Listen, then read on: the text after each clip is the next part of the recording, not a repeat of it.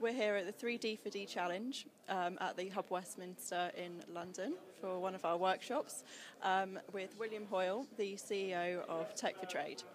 Um, we'll also be holding workshops in Nairobi, Johannesburg, um, Chennai, and Romania. Um, William, what are the reasons for holding all these workshops?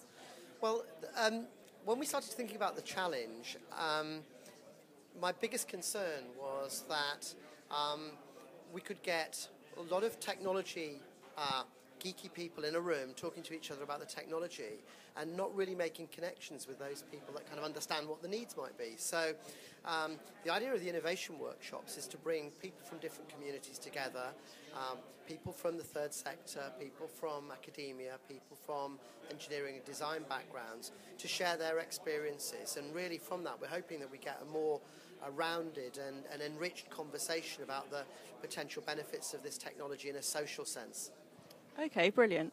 And uh, what can people expect from the workshops? Well, hopefully they can have some fun. I mean, um, looking behind us, uh, it already looks like people are enjoying themselves. I mean, the idea of the workshops really are to enable people to kind of, you know, innovate in a kind of safe space, work with people on, uh, on, on their ideas, and hopefully move from some fairly abstract themes, itches as we're calling them for the workshops, to some kind of concrete ideas that they want to work on and maybe take forward to become applications for the challenge. Okay, brilliant.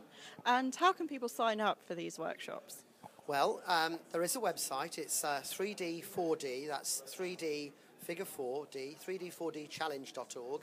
Um, you go to the tab labeled Brainstorm, and all the workshop uh, dates and locations are on there, and you just click on the one you want to uh, uh, attend and uh, enroll. It's as simple as that. Okay, brilliant. So we hope as many of you as possible will sign up. Thank you.